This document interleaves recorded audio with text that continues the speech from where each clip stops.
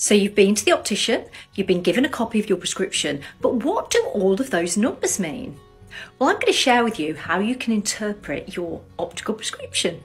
Okay, so this sign here corresponds to the right eye's prescription. This eye will correspond to the left eye prescription. Sometimes it's written in its Latin version OD, Oculus Dextrus, or OS, Oculus Sinister.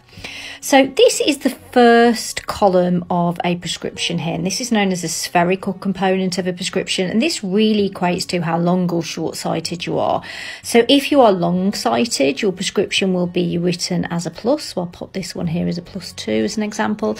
And if you're short-sighted, it will be written as a minus. So I'll put this one as a minus 2 here. So the second column here relates to the degree of astigmatism that you have.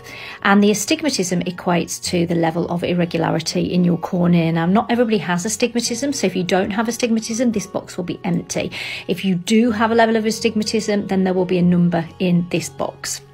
So I'm going to pop a minus one here and a minus 050 in this box. So both of these are fairly, fairly low levels of astigmatism here.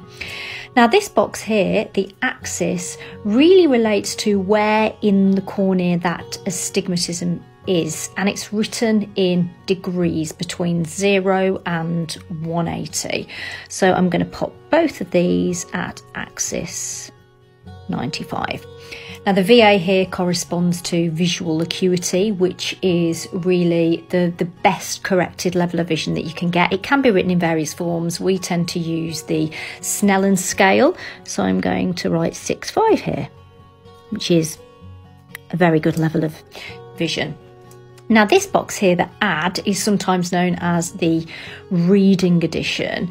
And if you're under 45, very often this box won't be filled in at all. But over the age of 45, we begin to lose the ability to focus close up and need an extra bit of addition in our reading prescription.